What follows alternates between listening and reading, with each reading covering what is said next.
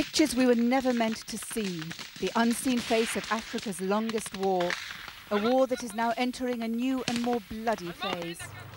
This footage reveals that since oil began flowing, a once weak and demoralized government army has become one of the best equipped in Africa. But nobody dreamt that oil was buying ballistic missiles like this. We obtained this unique footage and showed it to the defense analyst Paul Beaver. I've never heard of a short-range tactical ballistic missile being used in the war in, in, Sudan. I think this is the first time that I've certainly seen any evidence of it whatsoever.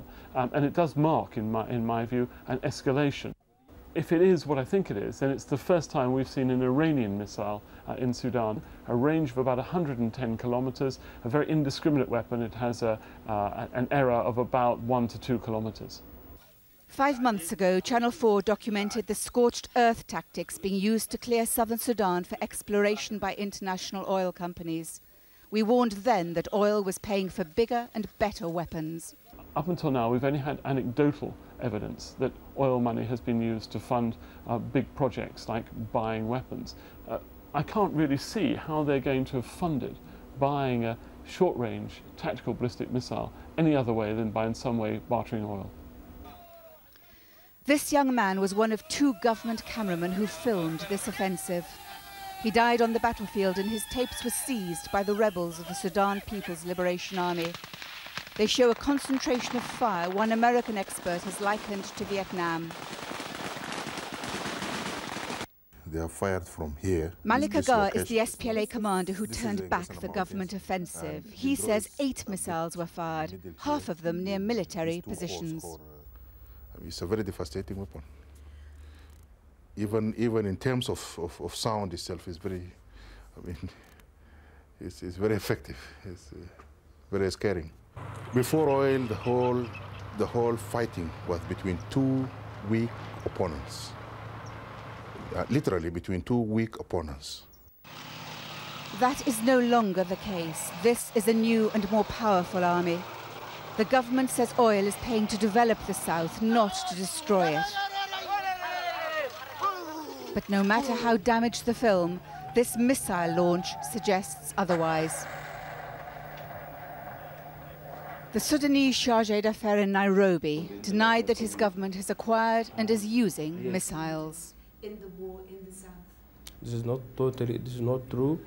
It is totally baseless, simply because there is no targets in this war to be targeted by missiles.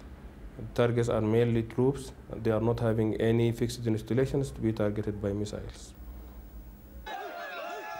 For the last three years, government troops and militias have been systematically clearing oil-rich areas of southern Sudan.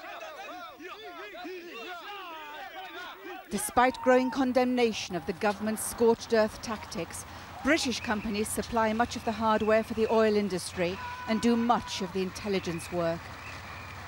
This region in the southeast of the country is the latest area to be opened and cleared for oil. We had heard uh, rumors that there, were going, there was going to be oil production now in that area. There's already one uh, area of wells that are producing, but we were hearing that there might be new surveys as well. And as no sooner had we heard this information than we began to see villages that came under attack and large numbers of people being displaced.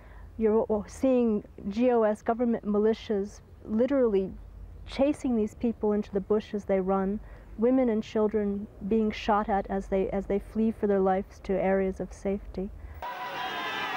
These government troops went into battle armed to the teeth, their morale sky high. But the offensive ended in tragedy for them. The SPLA says hundreds died and most of their weapons were captured.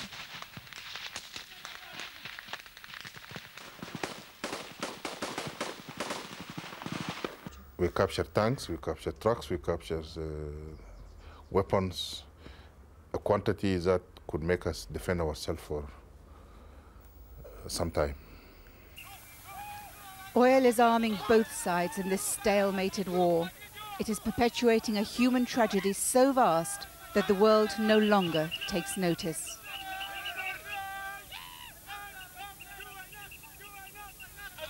A missile, you're, you're not going to hear it coming, and when you finally do, it will be too late and you'll be in its path.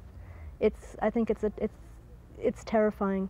No one's going to be able to protect themselves, not the civilians, not the agencies working on the ground. It, you know, when I saw this, it just adds a terrifying new dimension to what we're going to all have to deal with in South Sudan. The companies investing in Sudanese oil talk of development and through development, peace.